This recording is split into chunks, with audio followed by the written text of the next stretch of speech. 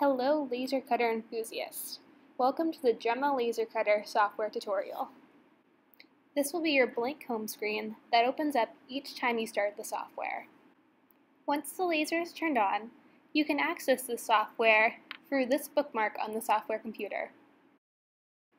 From here, you can import files or the capture function to see an image of the laser head platform. To continue using this white grid, simply import a file onto the grid itself. If you wish to import files onto a picture of the material itself, press Import then Capture, and it will capture an image of the entire platform and put it on your screen. Your captured image will look like this. It is composed of nine images of the material stitched together into one complete image. When using the capture function, you can import a file image onto the captured image with the Import then File button. The file image will be inserted into the top right corner.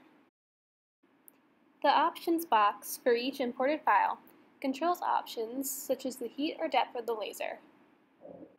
Default options, provided by Dremel, are available for each material in the material library, but can be altered as preferred by you, the user. Each time you change the material you are using, in the material box at the top of the screen, these settings will change with it. The black-white threshold allows you to choose the amount of black that is included in the image. The left thresholds will make your image show darker on the engraving, while the right thresholds will cause your image to contain more white. A more exact choice can be made by using the Settings button in the top right-hand corner of the Options box. The grayscale function takes a black and white image and assigns different densities of dots to create different shades of gray.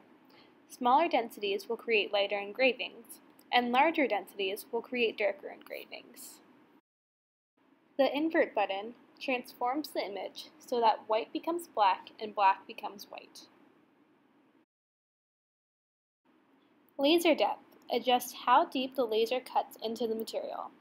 Increasing the depth will remove more of the material in the engraving. Speed adjusts how quickly the laser head moves.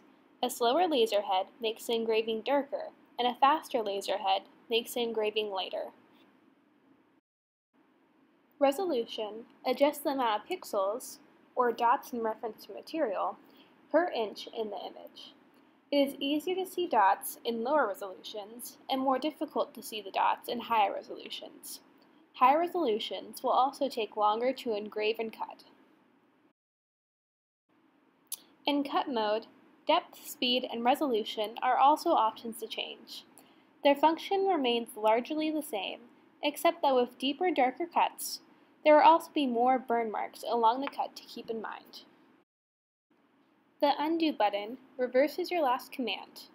It does not reverse a command to auto array.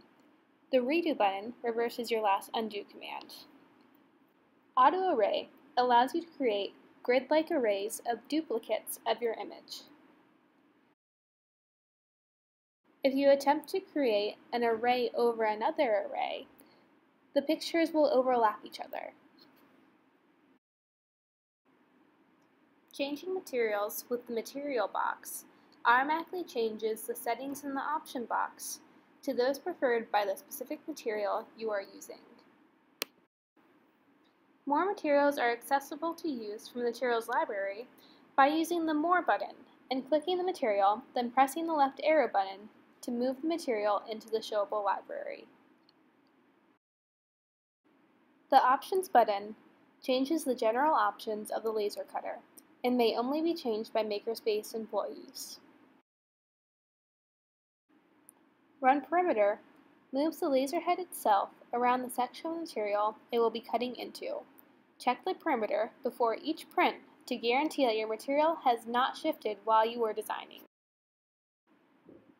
The Start button opens the window to begin the job. The order of the engraving and cutting jobs can be altered by clicking and dragging the job file to a higher or lower order in the left-hand box. Engraving should always be done first, as cutting can push the material off-center. Check here that the selected material is the material you are using, then send the job to the cutter. After the job has been sent to the cutter, you will have to go through a checklist of safety precautions before the job itself actually begins. When using the machine, be safe, have fun, and get creative. Thanks so much for watching.